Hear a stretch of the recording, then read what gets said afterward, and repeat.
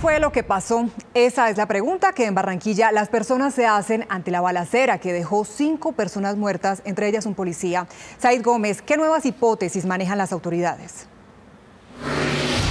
Daniela, muy buenas tardes a usted y a los televidentes. Las autoridades están trabajando desde ayer mismo en, las labores investigativas para establecer qué fue lo que realmente pasó en este sector del barrio Las Américas. Una de las primeras hipótesis apunta a que allí habían unos policías eh, de civil quienes estaban trabajando en esos momentos en labores de investigación para establecer alguna especie de ollas de microtráfico. Sin embargo, la ciudadanía dice que si hay ollas, pues deberían llegar a hacer allanamientos. No se oponen a esto, pero piden mayor presencia de la policía.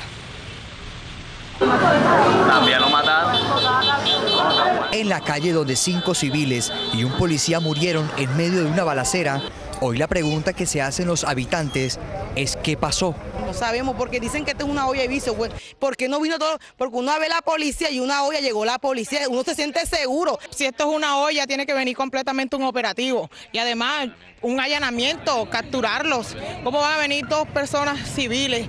La policía dice que en la zona tenía personal infiltrado realizando investigaciones por la venta de droga y el alquiler de armas. Llegan hasta el lugar donde aparentemente teníamos eh, ubicada el lugar de expendio y es allí donde al momento de ingresar a, a, ese lugar hay un enfrentamiento con los delincuentes. Desde anoche la Policía Metropolitana viene realizando operativos como este de requisa y también patrullas en esta zona donde ocurrieron los hechos. Sin embargo, el comandante de la Policía Metropolitana ha pedido a la Fiscalía le autorice realizar más allanamientos en esta zona. Aquí, en ese sector, algo más fuerte se está escondiendo.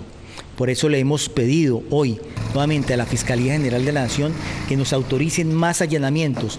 La policía no descarta que en esta zona conocida como La Z, reductos de la banda Los Papalopes vivan en el sector.